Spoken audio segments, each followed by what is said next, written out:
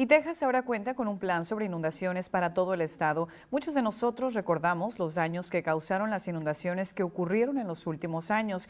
Mientras el estado cuenta con sus planes, Santiago Caicedo nos presenta el plan de un líder local para evitar que la lluvia ahogue el crecimiento económico. Adelante, Santiago.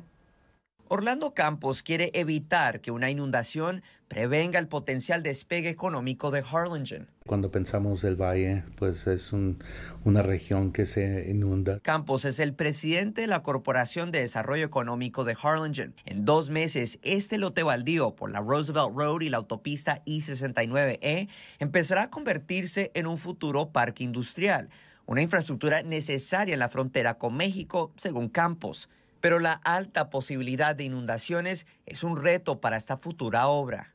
La Corporación de Desarrollo Económico decidió tomar cartas en el asunto y ellos mismos construir una laguna de retención de agua en este lugar, un lugar que tiene un alto riesgo de inundación. De esa manera ellos pueden construir un futuro parque industrial y atraer más inversión empleo. El año pasado, la corporación recibió una subvención de casi 3 millones de dólares del Departamento de Comercio de los Estados Unidos para construir la futura laguna. Y para mejor entender los riesgos y posibles estragos que causan las inundaciones en lugares como el Valle, el Estado de Texas ha publicado un plan que incluye miles de estrategias y proyectos que ayudan a mitigar posibles inundaciones, como el de desalojar más de 200 mil edificios y reubicar más de 8 800 mil personas en todo el estado. Aún con el riesgo de inundaciones, entidades tales como la Corporación de Desarrollo Económico de Harlingen han decidido invertir más de 600 mil dólares de impuestos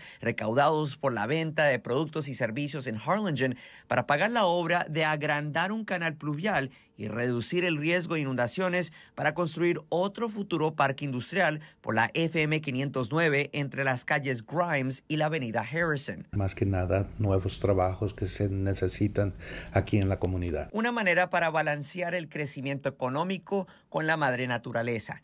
Les tendremos un enlace del plan completo sobre el riesgo de inundaciones en Texas en nuestra página y aplicación móvil KRGV después del noticiero. En Harlingen, Santiago Caicedo, Noticias RGV.